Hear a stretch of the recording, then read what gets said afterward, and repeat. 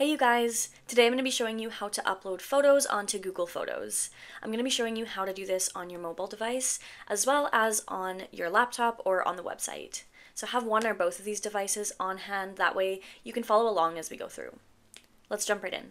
So the Google Photos application functions identically to the Gallery app on your phone. So all images, videos, screenshots, etc. are accessible from Google Photos. There's a couple of different ways to upload your photos from your gallery to Google Photos. Normally, you'd have to go in to the app and activate that backup and sync option.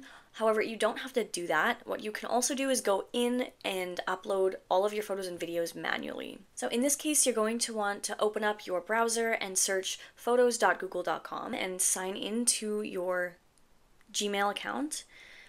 And once you're here, we'll find at the top right corner this upload option.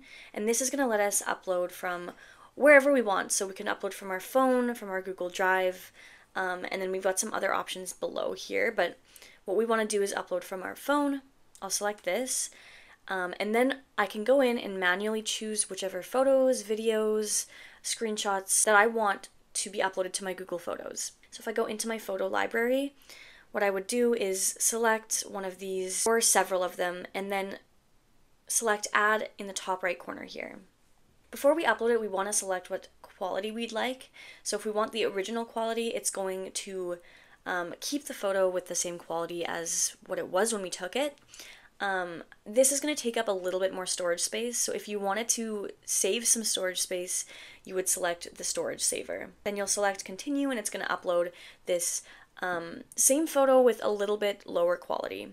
However, the easiest way to add photos and videos to Google Photos would just be to simply back up whatever you have on your iPhone to the Google Photos. To do this, you're first going to want to download the Google Photos app. Once it's been launched and you're signed in, you're going to go to the top right corner and select your icon. Then you're going to go down to the bottom and select the Google Photos settings. And then at the top, we'll select that backup option here and we just want to make sure that the backup is on. Once it's been turned on, it's just going to automatically back up, search, organize, edit, and share my photos from any device. Okay, now let's jump over to the computer and I'm going to show you guys how to do the same things on there. So the next thing we're going to do, we're going to go to photos.google.com once again. And the first thing you're going to do is sign in if you're not already. Once you're signed in, um, we're first going to go over that manual upload option. So, like I said before, if you didn't want to back up your um, device, you could simply do a manual upload.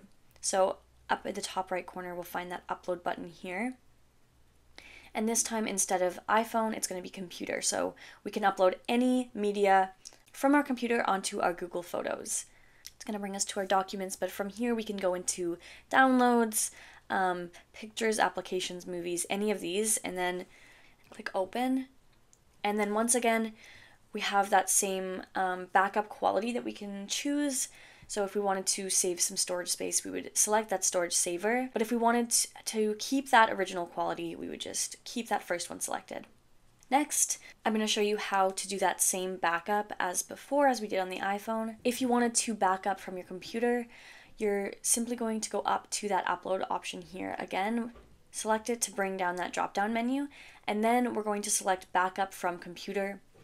In order to do this, you'll have to download Google Drive onto your desktop. However, it is important to note that if you have a lot of photos and videos um, on your laptop, you may need to upgrade your storage space. But if you do have enough storage space, um, all you would do is download that Google Drive app, um, finish setting it up, and then all of the photos and videos on your laptop would be backed up to there. Alrighty, you guys, that's it for today's video. Thank you so much for watching. I hope that you found all of this helpful. Thanks again, and I will see you guys in the next video.